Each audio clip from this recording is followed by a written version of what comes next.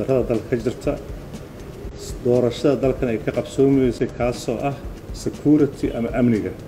Sidaad ogtihiinba dalkan wixii ka dhacay sagaal iyo tobanka february habeenkii iyo maalintii ku xigtood la socotiin oo habeenkiina madaxweynayaashii hore iyo guddoomiye hore oo baarlamaanka la weeraray subaxdiina annagoo mudaharaadayna oo prime minister ka hore noogu horreeyo iyo murashaxiin kale iyo xildhibaanona la soo weeraray. Sidoo kale lix iyo labaatankii febraayo qorshihii oo samaystay farmaajona ku baabiiyey madaxdooda ogeedeen intaa haddii laga soo gudbo waxaad ogtihiin dowlad goboleedyada madaxdooda xamar yimid maxamed cabdulaahi farmaajo wuxuu isku dayey inuu labada madaxweyne ee ku sugan gudaha aeroboortka qarshaad fara badan oo xagga amnigooda uu ku sameeyo ilaa uu isku dayo inuu haram cadgeeyo aeroboortka taasoo adduunyada ay ka soo horjeesato. In muddaaba intuu dalka madaxweyne ka ahay maxamed cabdulaahi farmaajo booliiska milatariga nabad sugidda wuxuu u maamulayey shaqaalo uu leeyaho gurigiis ka shaqeeya camal dalkana wuxuu geliyey god oo ummadda soomaaliyeed ay og tahay hadduu ka taga xataa in amniga iyo siyaasadda kabashadooda waqti dheer ay qaadan doonto.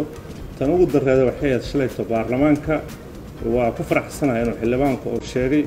Waxaa la soo geliyey nabad sugid dharcada oo badankood ka yimid shabaab oo si gaara qorshooyin u fuliya ee dad gaara ay ku dilaan. Magaaladana waa kuwa argagixis argagixisa geliya.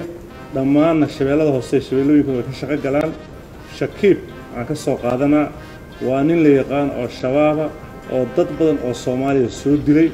Waa nin la og yahay intuu ku dhaawacmo oboreeshinadii oo shabaabka ka dhex samaynayey oo dadka soomaalida uu ku dhibaataynayey in dibadda loo soo qaaday lagu soo daaweeyey laba mar.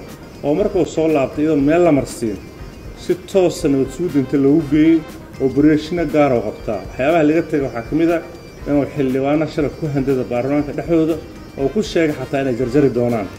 Marka madaxweyne waqtigiisu dha maxamed cabdulaahi farmaajo wuxuu ku soo dhammaaday inuu guddoomiyaha baarlamaanka u adeegsado habkii oo asiga isticmaali jira oo ahaa dalka inuu qalqalgeliyo maxamed cabdulaahi farmaajo waxaan rabaa dadka soomaalida inaan u sheego wuxuu go'aansaday dalka soomaaliya inuu godgeliyo wuxuu go'aansaday inuu sifal war dib ugu celiyey wuxuu go'aansaday inaan qof bini aadam aysan ka dambayn madaxdana oo laayo dadka ka hooseeya oo ka mid yaha taliyaha nabad sugidda taliyaha milatariga taliyaha booliiska waxay ahayd inay qaataan qorshe ka duwankiisa laakiin aad iyo aad aan uga xumahay qorsheay kula jiraan waana kala shaqaynayaan maalinaana maxkamadaha la soo taagi doonaa haddii la haraa aad iyo aad umahadsantii